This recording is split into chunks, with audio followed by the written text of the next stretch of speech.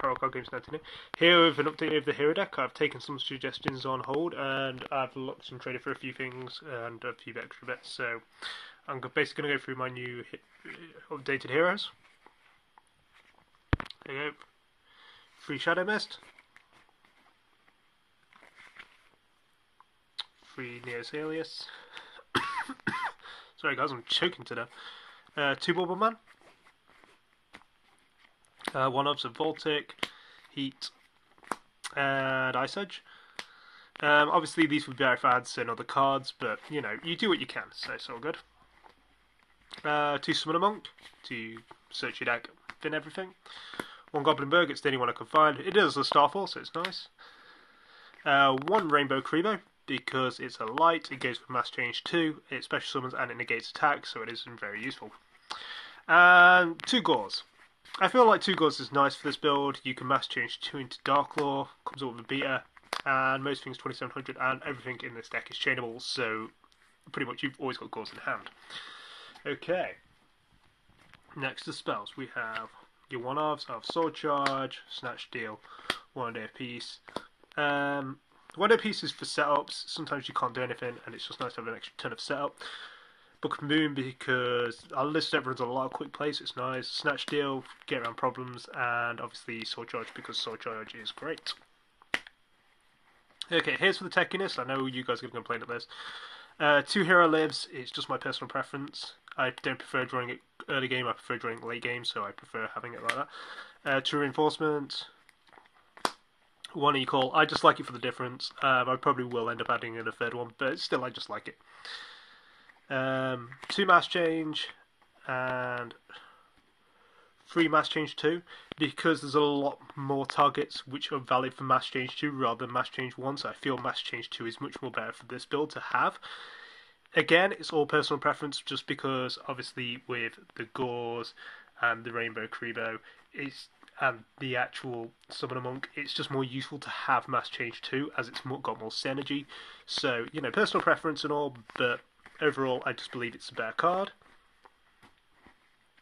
Um, two Mask Charge. I believe this is nice. Gets back and is always good. Uh, one miracle fusion. I just feel it's nice to have. There's a, I, technically there's only two targets in the actual extra deck. I may add another one in. Um, you guys suggest if you want me to add another one in. I don't know.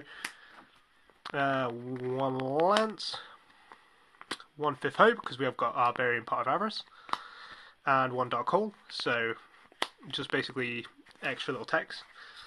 And for your lovely traps, we now have a nice compulse, one breakthrough skill, and one hero blast. I found that eventually certain things are running into problems, and instead of bottomless, bottomless is good. Don't get me wrong, but people do stuff, and it's just nice to have two turns of um, breakthrough skill, it just yeah, I find it better to stop Kristya and all the manner of stuff that stops me. Special something, so that's that. We also have a Gorz token because we have Gorz, so I just feel it's just nice. And here's the extra deck. It's, there's no particular. I'll start off with pretty much most stuff. We're gonna have one con. We're gonna have a couple of contrasts. I mean, you can change it out. It's you know whatever it is. We run one great tornado because we haven't got anything else that fits. And it is just generally if you can combo it off, it is alright. You can use it with to get anything else. So one Divine Wind. Divine Wind is good. I think it's a really good card. But the only problem is you're only going to get it off with Snatch Steal. So I don't feel like having one extra of these is good. Like I say, this is a budget build. So I'm just saying you things that you can use for budget.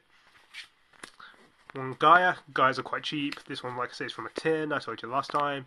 So it's pretty good. And obviously you can use it with any hero and the Goblindbergh. So there you go. That's that. Next we have usual. We have free Koga. Koga's really good. Obviously, gaining 500 for every monster your opponent controls is amazing. I believe there's some really good combos to be had in gaming this with uh, a Jammer Trio. I might check it out and just see. I mean, it might stop people like Burning Abyss, so they can only go so much, but it is really nice to use. So, you know, making your opponent lose attack is always good. And as always, free Dark because, you know, what's better than a macro on legs for your opponent? And, you know, it is just fun to use. And making. The only problem is with Mirror Match, it's just basically who goes into Dark Law first is going to win the game. So that's why I kind of tech some other stuff in here to get around other things. So, like with Dark Hole, Compulse, and Breakthrough Skill again with the Gorz, it just helps to get around a Dark Law mirror match. So I've geared this a bit more for the mirror match, thinking about it. Gauzes are quite cheap, you can get them in commons, so it is always good.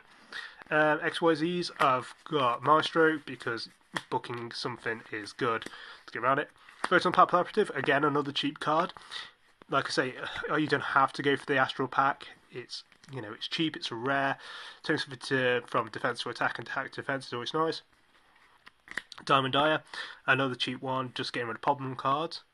Uh, Blade Armor Ninja, I got a friend who got me this. Uh, shout out to my friend Ashley. Uh, is good to use in this deck. And then my last card is a Photon Strike Balancer, just because you can overlay your Masked Heroes for it if you do use a Soul Charge. So it is just useful to get around stuff. Um, that is my hero deck so far. I mean, tell me what you guys think. Uh, you know, we're compared to the the last time. I know people are saying you know different builds and stuff. But this is meant to be budget. It's not meant to go. Ooh, we're meant to you know go in and put in everything that everyone else wants. You've really got to think to yourself. This is what people are going to you know buy free structure decks. I mean, Rainbow Kuribohs. I swear you could probably change it for a battle fader or something. Um, rather a battle fader, or you could use a Swift Scarecrow to run it in its place, and that's another choice for Gaia.